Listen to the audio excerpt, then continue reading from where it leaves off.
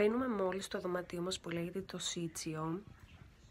Όπως βλέπετε το δωμάτιο έχει πάρα πολύ ε, παραδοσιακό χαρακτήρα και πολλά έπιπλα ε, αντίκες. Θέλω να ρίξεις τύπου τσάκι.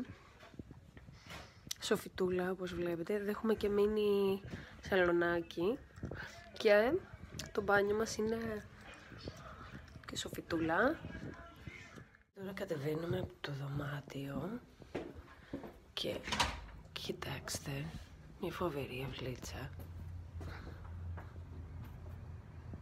Δεν είναι φοβερή.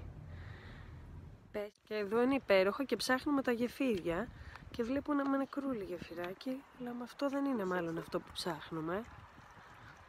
Και είναι φανταστικά εδώ.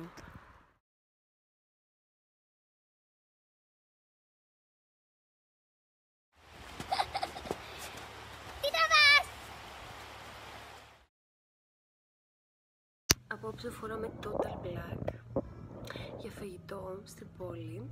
Ε, και θέλω να δείτε την υποδοχή του ξενοδοχείου.